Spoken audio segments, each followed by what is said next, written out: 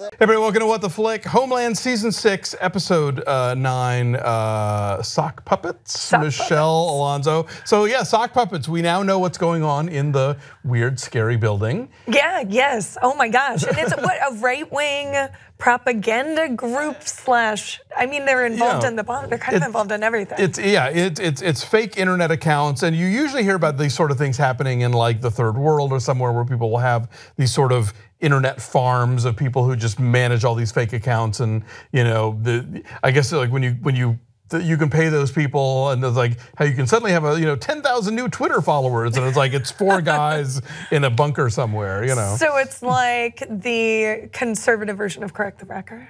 Uh, sort of, yeah. like. You could maybe argue the correct the record was the good. Anyway, uh, we're not going to get into that. But yeah, but but basically they're they're out there sort of you know trying to manipulate public opinion and present this false front of people who feel a certain way. We don't know about what yet, but we assume it's about like let's get tough on Iran since that's what this whole season has been about apparently. Yeah, and it seems like it. It they a lot of the profiles that were popping up were military based, and it seemed like they were pushing. Is that the same guy who also released the video? I thought it was of Keane's son, Oh, the guy doing uh, the interviews.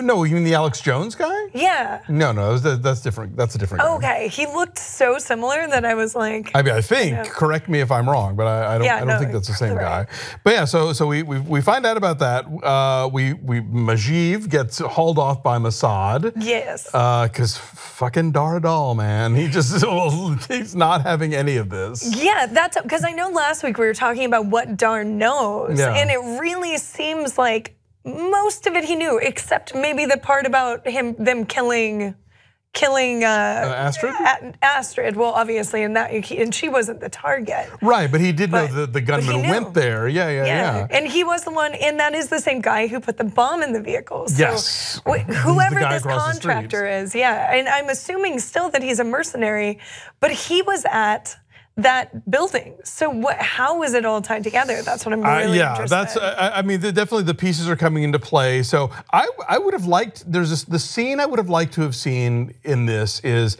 how do how do Saul and Carrie convince President-elect Keane to take a meeting with them after she's just been like, well, fuck y'all, I should never have listened to you. You're full of shit. I that was the exact same question I had. Yeah. Because I was like, yeah, she went so hard in the other direction. It would have been one thing if it was more neutral or or the way she had, you know, moved towards Dar wasn't to walk away from them. It was just to in her mind. Right.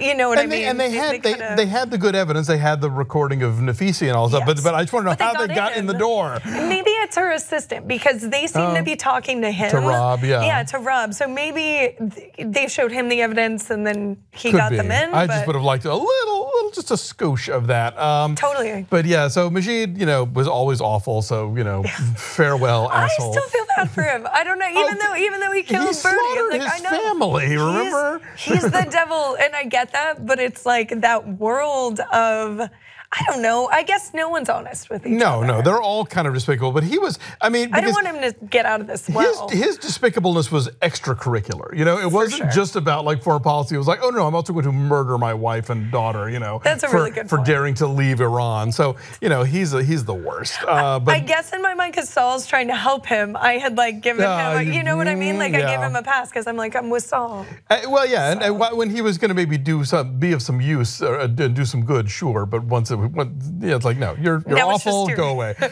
Uh, your forty-five million dollars. No, yeah, you don't want him living happily on a beach Oh, in Costa Rica, hell no, no, no, no, no. Uh, and and then so so once uh, President-elect Keane knows that Dar is bad news, she has the meeting with him to try and get his list. But he can tell she's not a good liar. She does not have a good poker face, and he sees right through that one. Um, and I love the conversation between Carrie and Saul. She's like, "Well, maybe you shouldn't have fucked a Russian mole." oh, well, coming from a woman who fucked a guy in a suicide vest, that really means something. yeah, that was the best line in the whole episode. I loved it. Yeah, and in the storyline, what we have going on now with um, with uh, the character of Max, Yes. going back to what happened with his wife, and I'd almost forgotten that by the time we got to Right, that right, scene. right.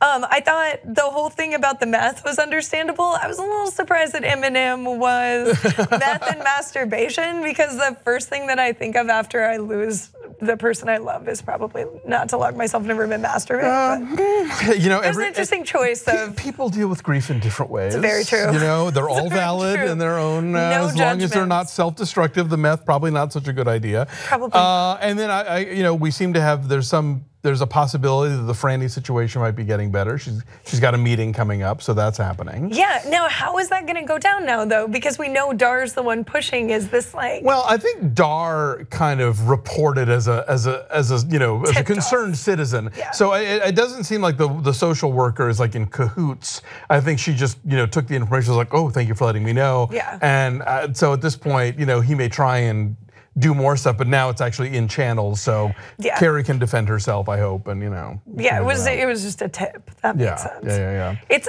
it's interesting though to watch what he does know because I I still think he knows more than what we were thinking he knew Dar? in the last. Yeah. No, I, I look. I, I, I would not be surprised if every single conspiracy happening this season all goes back to him, and I, it seems to be leaning in that direction in, in one way or another. How you know we have to see how he ties into the internet farm, but I think probably there too. You know, Yeah. And but what the, what his end game is, I don't know. It's like, does he want war with Iran? Does he want more sanctions? Is this about Mossad? Like, who's benefiting from all this? Yeah, that's what I was wondering because I was a little surprised with him pushing the war with Iran unless he wants it. It's like that's a really big risk to take just to get someone to listen to you. Sure, or is it just about That's an- manipulating the new president? And, and know, that's yeah. what I'm assuming it is, but it's like it's is it worth is it worth this? Well, it's funny because you know there's been talk about how like oh these guys they thought there was going to be a woman president and they missed the boat, but now it's a show about a president who does not trust the intelligence agencies and vice versa. So you know,